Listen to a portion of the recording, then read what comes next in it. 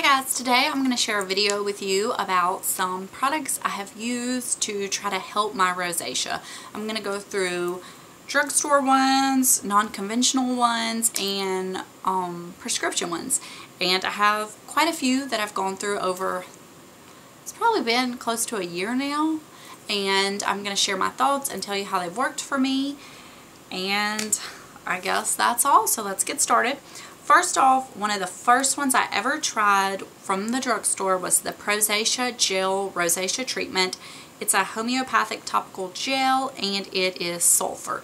The active ingredient is sulfur 1X. I don't know what the X stands for. This is what it looks like. It's about $10. It is just a clear gel. I mean, nothing to really show you. And it worked for about a week or two maybe three weeks and it worked really well. And then it just quit working. It just didn't do anything. It was like I was just using nothing.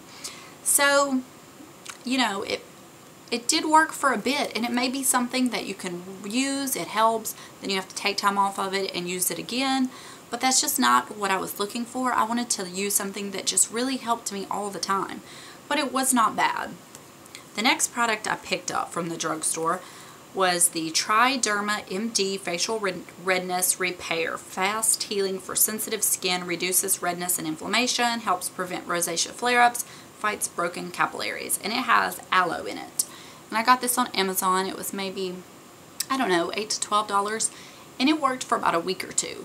And then it just quit working, just like the ProSacea. So if you want to pick up something from the drugstore, this did work longer than this. And this was a cream and it was kind of thick to where, I mean, it would make, you can see that, it would make wearing under makeup a little harder because it wasn't quite as thin and consistency as the ProSacea. So if I had to tell you to try one, I would pick the ProSacea, but they both did quit working on me. And during this time, I had been off and on on the Retin-A. My dermatologist had prescribed me Retin-A first when I had gone in initially over a little spot on my cheek that we thought was just this acne spot that went clear up. Truth be told, I was a little worried it was skin cancer. I've since had a biopsy and it is acne and rosacea. Um, the Retin-A never did anything bad to the rosacea. It didn't really do anything good for it. Um, I mean, I do think it kept it maybe a little irritated, so that is also my experience with the rosacea. I mean, with the Retin-A. Then my dermatologist also put me on a month of antibiotics, which I did not want to use, but after going through all these treatments, I was like, let's just try it. And I believe it was doxycycline it's really unimportant because I was on it for an entire month and it didn't clear up my rosacea one single bit. My dermatologist takes pictures of me every time I'm in the office so we're able to see. Plus I'm pretty obsessive about my skin so I do know how it looks. Okay, then we also, she decided, let's pull out the big guns. Let me try Finacea. She put me on Finacea, which is an azelaic acid gel 15%. And she wanted me to use it for an entire month and not anything else and see how it helped. Didn't do anything. I mean, it might have, I might have had like a good day here and there because that's the thing with the rosacea, with the flare-ups, is it's constantly bad, good, bad, good. It may look great one day and then just terrible the next. And then when it's terrible, it takes days and days to get it back looking the way it did before the flare-up. So, and it's a shame because this was very expensive. I mean, very expensive and it did nothing for me. Another treatment she had me use was the Mirvaso and it's a topical gel. I had a few samples and all this is is it's kind of a redness controlling. You put it on your skin and it's supposed to I don't know maybe within 10-15 minutes I'm not quite sure I don't really remember calm down the redness and it's kind of it's a temporary fix basically for the day the redness will be gone and then when you wash it off or by the end of the day it's kind of quit working. This didn't help me at all. A lot of people that use it said that they would have, it would be worse the next day from using this, but say they were going on an interview or they were taking pictures or whatever, they found it was worthwhile because to have the redness gone for a day, it was worth the price they would pay the next day. This didn't take away my redness at all, but I also have um, which I didn't even mention. I'm so sorry. I have the type 2 rosacea that's kind of the pustules. I don't have just the facial redness. I have the type 2, which is, you know, the pustules. It's the really gross textury kind. So, sad to say, this didn't help me at all. And one product I had used in between some of these treatments, I wanted to save it for the end, was the Sibu Beauty Seed Buckthorn Seed Oil. And I do want to mention, I have never been contacted by them. I've purchased their products completely myself from their website and from Amazon. This is the only thing that has ever helped my rosacea 100%. When I'm using this, I can tell a world of difference. The redness is so much lessened. The bumps are pretty non-existent. I don't really get the bumps. Occasionally I'll get like a little bump and I use this, you know, if I do use this morning and night and it's completely gone and taken care of. And during some of my stuff I was using, I had found this. One day I had had a bottle for whatever and it, I saw the word rosacea and I said, let me try it. And I take about a dime size amount and I really work it into those areas on my cheeks. Well, when she put me on the Finacea, I decided to give this a break and just really try the Finacea and see how it worked. My skin was so bad, it was not helping it, and after the month of this, I went back to the Sibu and my skin was so much better. It is not cleared by any means. At the end of the video, I will insert a clip, clip of my face without any makeup on so you can see exactly what my skin looks like. Um, I mean, it's not like it took it away, but it's the only thing that keeps it at bay. The only thing.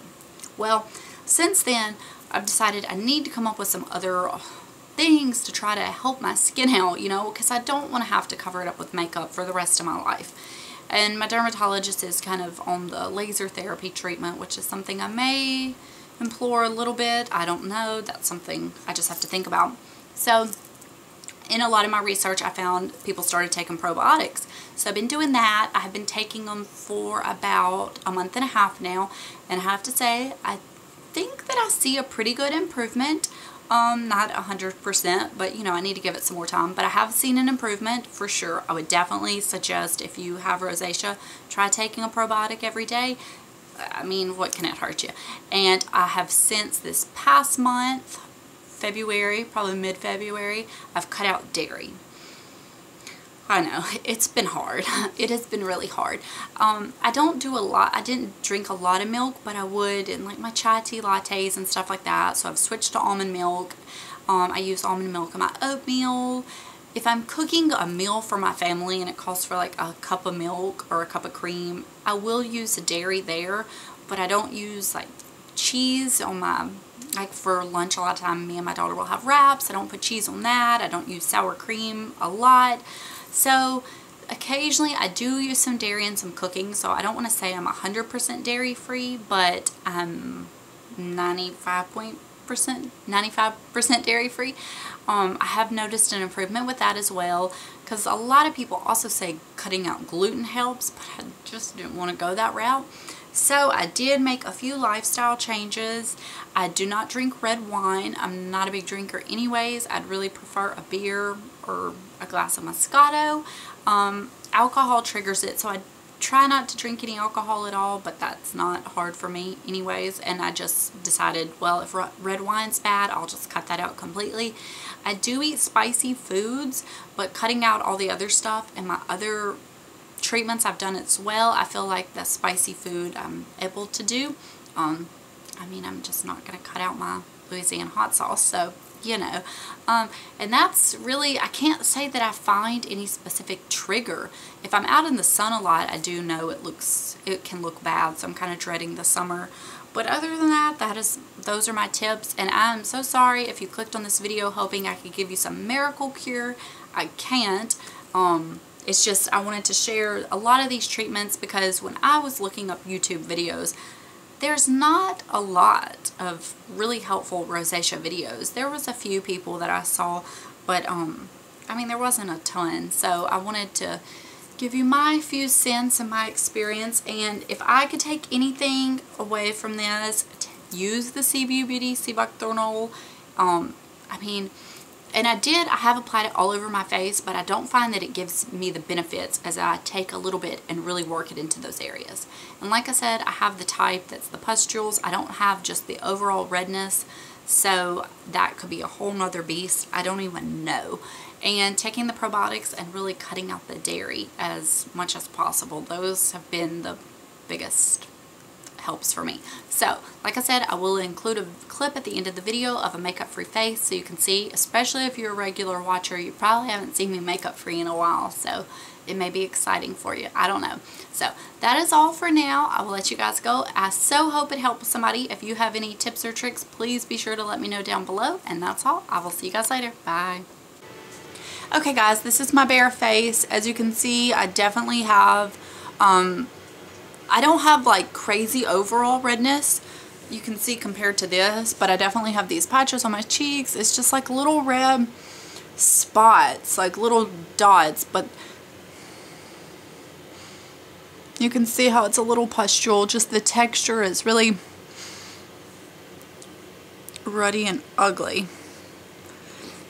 I will say I don't know if y'all will believe me, but it definitely is a little magnified on camera. It's not this red in person. I'm looking in a mirror right now, and this is pretty much all the same color of my flesh, and this is what stands out red. So it's definitely bringing out the redness. But this is my first thing in the morning without any um makeup on. So this is what it looks like. So you can see, I, I mean, it is really improved. I don't know if y'all can tell a difference, but I can tell a big difference. So that's all.